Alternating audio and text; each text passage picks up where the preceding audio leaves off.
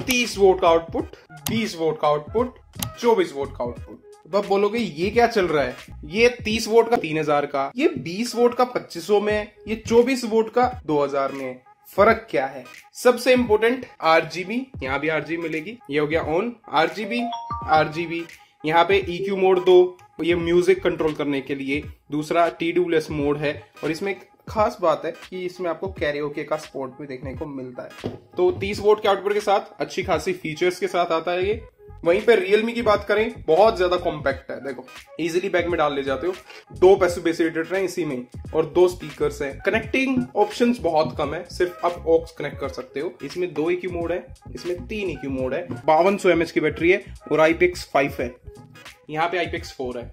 Five है। तो इसमें कोई ऐसी कॉम्पैक्टिबिलिटी नहीं है। हाँ कनेक्टिंग ऑप्शन सारे दिए गए हैं। लेकिन बजट में चौबीस वोट दिया गया है। ये इसकी खासियत है। बैटरी बैकअप इसका ही बहुत अच्छा है और आईपीएक्स रेटिंग कोई देता नहीं है। इसकी मीवी वगैरह कोई ऐसी खास नहीं है।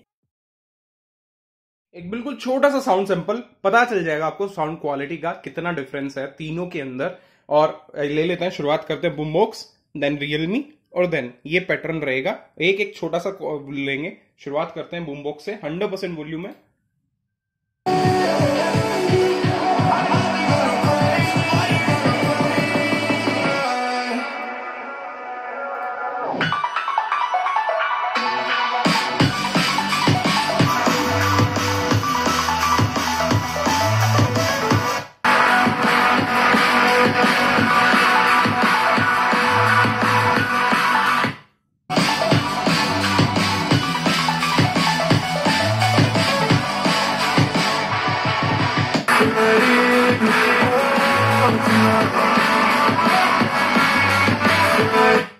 ओवरऑल क्वालिटी तीनों की ही बहुत ज़बरदस्त है, लेकिन कौन किसमें ज़्यादा माहिर है, बता देता हूँ। Value for money okay then compact best battery backup and then party loudness bass अब इन तीनों में से आपको क्या चाहिए? वैल्यू फॉर मनी चाहिए कॉम्पैक्ट चाहिए, या फिर पार्टी टाइप चाहिए? ये आपकी चॉइस है, और इजी हो जाएगा आपके लिए चूज़ करना। क्योंकि ऐसे तो कंफ्यूज ही रहोगे, क्योंकि हर बंदे के अलग अलग हर स्पीकर की अलग अलग स्पेसिफिकेशन है तो ऐसे कंफ्यूज रहोगे। तो तीन चीज़ों में से चूज़ कर लो पार्टी कॉम्पैक्ट बजट तीनों क्लियर हो जाएगा कि आपको लेना कौन सा है। बाकी स्पीकर अपने सेगमेंट में तीनों बहुत ही ज़बरदस्त है। लिंक अब ये तो और भी ज़्यादा कंफ्यूजिंग हो गया है यार। अब ले कौन सा? देखो, दो, तीनों के प्राइस अलग अलग है। तीनों का प्राइस सेगमेंट अलग है। सबसे पहले प्राइस से बात कर लेते हैं। प्राइस अगर तीन तीन हज़ार रुपए है आपका तो आप इसके लिए जा सकते हो। प्राइस अगर पच्चीस सौ रुपए है, इसके लिए जाओगे। प्राइस अगर दो हज़ार रुपए है तो इसके लिए जाओगे। इसमें तो कोई डाउट ही नहीं है। तो प्राइस को हम एक तरफ़ रखते हैं। बात करते हैं साउंड क्वालिटी की। देखो, इसकी साउंड क्वालिटी बहुत अच्छी है। इससे बहुत ज़्यादा है। इसके बराबर है। इसमें बेस बहुत अच्छा है। इससे ज़्यादा है। इसके बराबर है। लेकिन इसमें हंड्रेड परसेंट वॉल्यूम पे क्लियरिटी लैक होती है। तो वो थोड़ी सी क्वालिटी यहाँ पे नहीं मिलेगी। यहाँ पे थ्री क्यू मोड मिलते हैं बेस बूस्टेड ब्राइट और कॉम्पैक्ट इसकी जो साउंड की क्वालिटी है ना, वो बहुत ज़बरदस्त है। मतलब इसकी साउंड की क्वालिटी है ना, बहुत ही खतरनाक कॉम्बिनेशन अच्छा कॉम्बिनेशन आप कह सकते हो। ये लेने का फ़ायदा तब है जब आपको साउंड क्वालिटी चाहिए कॉम्पैक्ट चाहिए, ज़्यादा बैटरी बैकअप चाहिए गेम मोड चाहिए। तब आप इसके लिए जा सकते हो, क्योंकि ये ओवरऑल एक छोटा पैकेज एक छोटा पैकेट बड़ा धमाका है।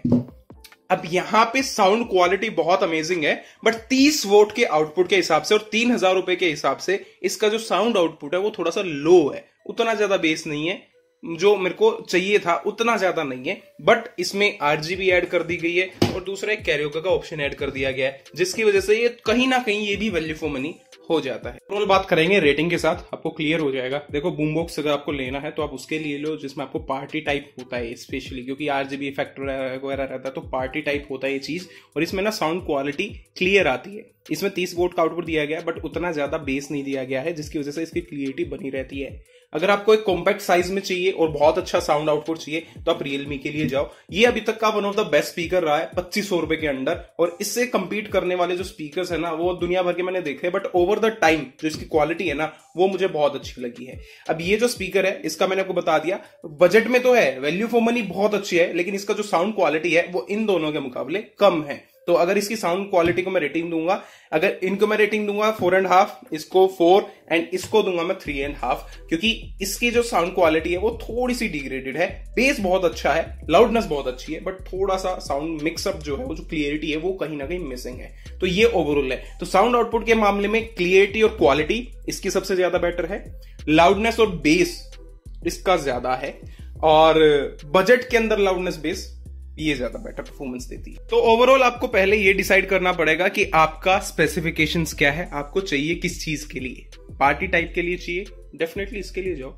बजट चाहिए डेफिनेटली इसके लिए जाओ। लेकिन ओवरऑल कॉम्बिनेशन चाहिए तो इसके लिए जाओ। ये तीन चीज़ें हैं। ये तीनों चीज़ों का मैं अलग अलग कंपैरिजन इसलिए लाया था क्योंकि मुझे डेफिनेटली कहीं ना कहीं लगता है कि जब प्राइस ऑलमोस्ट सेम सेम से एक तरफ़ 500 500 रुपए का डिफरेंस है और अलग अलग रेट पे अलग अलग स्पीकर्स हैं। तीनों ही बहुत अच्छी ब्रांड है और तीनों की परफॉर्मेंस बहुत अच्छी है। तो बंदा कंफ्यूज हो जाता है कि लू कौन सा। तो इस वजह से मैंने इस कंपैरिजन बनाने की सोची थी।